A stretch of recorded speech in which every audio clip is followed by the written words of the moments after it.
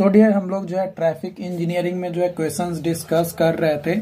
तो अब हम लोग यहाँ पे क्वेश्चंस डिस्कस करेंगे। ट्रैफ़िक इंजीनियरिंग में और भी क्वेश्चंस हैं, जो कि आपके लिए ज़रूरी है।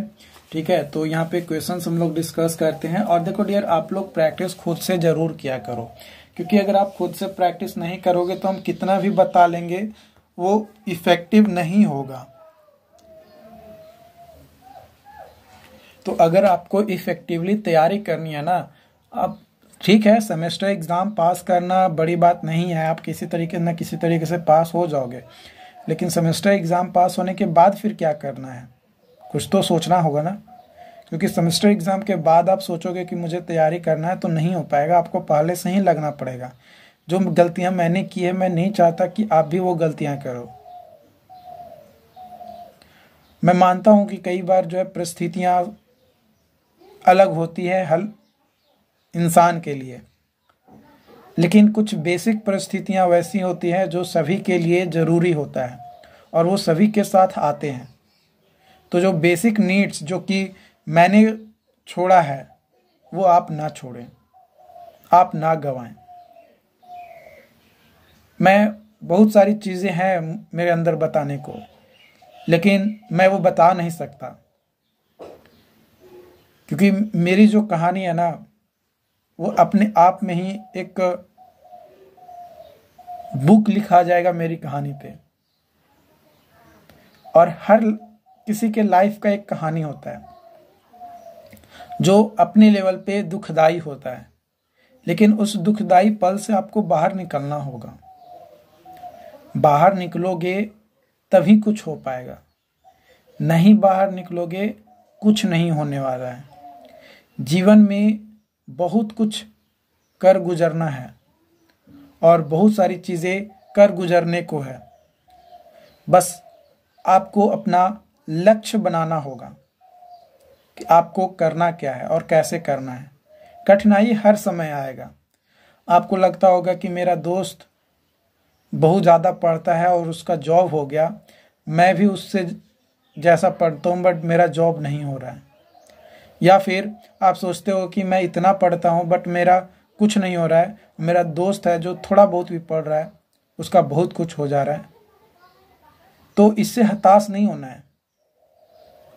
हो सकता है कि कुछ गलतियाँ होगी जो आप कर रहे होंगे। या हो सकता है कि उसका पढ़ने का तरीका अलग हो, आपका तरीका अलग हो।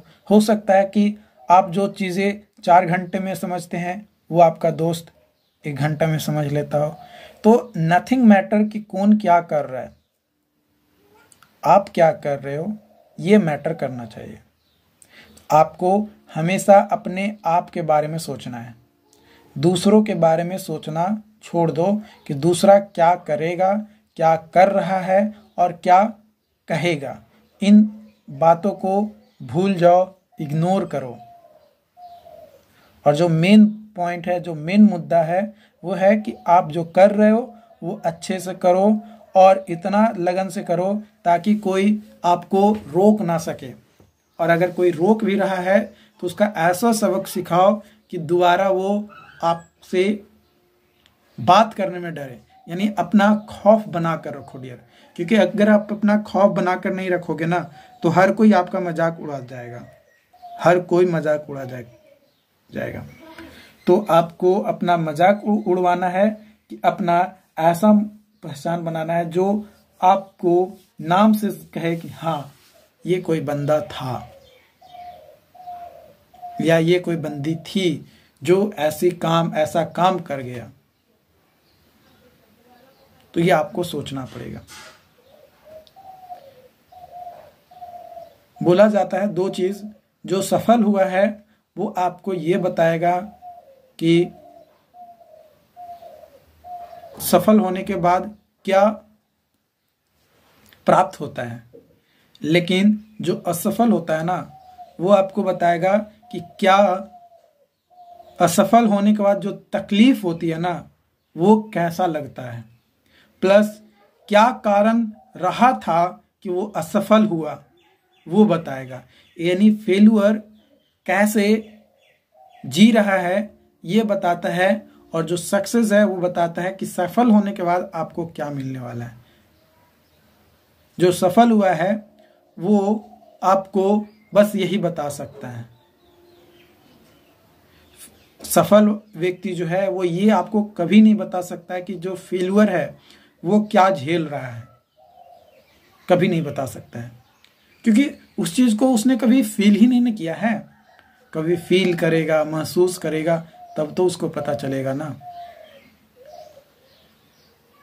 तो चलो क्वेश्चंस हम लोग डिस्कस करते हैं, नहीं तो फिर इस तरीके की प्रवचन तो बहुत हैं देने को। लेकिन कुछ पढ़ाई की भी काम हो जाए, कुछ अपना बात भी निकल जाए, है ना? तो चलिए स्टार्ट करते हैं अपनी आज की क्वेश्चन सीरीज़ को।